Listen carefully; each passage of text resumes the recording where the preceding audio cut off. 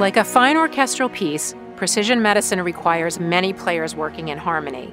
In oncology, we work together to understand the complex interactions between the immune system, tumor, and cancer therapies. Biomarkers are instrumental in clarifying these interactions, thus helping to inform clinical decisions. Being able to deliver the right treatment to the right patient at the right time. That's the goal. That's precision medicine, and it starts with pathology. We typically look at three types of biomarkers to fine tune clinical decisions. Predictive biomarkers are those that identify whether individuals are more likely to experience a favorable or unfavorable response to a particular treatment. Prognostic biomarkers are those that identify the likelihood of a clinical event, such as disease progression, disease recurrence, or death, independent of treatment received. And finally, pharmacodynamic biomarkers demonstrate whether a biologic response has occurred in an individual who has received treatment. Researchers today are also exploring the potential utility of composite biomarkers, that is, information from more than one biomarker in the same patient. Additional research is needed, but I'm excited that this approach may enable even greater precision in matching patients with appropriate therapies. Regardless of the type or how many biomarkers we're looking at, we're always pursuing the same goal individualizing treatment to help ensure the right patient gets the right treatment at the right time.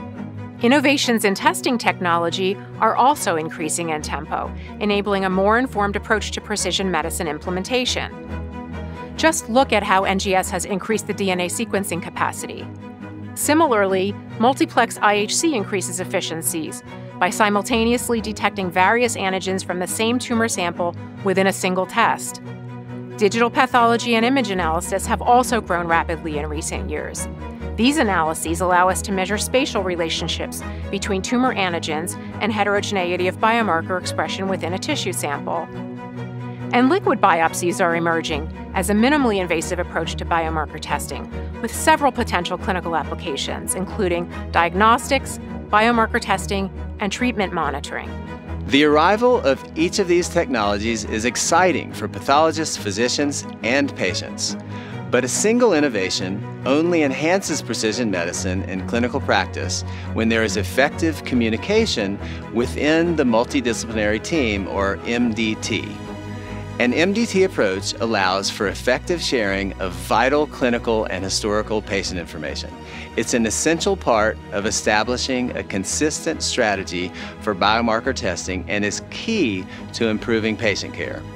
I tend to think of MDTs as an ensemble, with each member playing an important part. In this scenario, I believe that the pathologist is the conductor. From leading pre-biopsy conversations about tissue preservation to answering the last questions before an oncologist makes a treatment decision, the pathologist is often the one others look to for direction. When listening to a recorded piece, you don't see the conductor, you just hear the music. So let's embrace our role as MDT maestros and work together to orchestrate truly optimized patient care.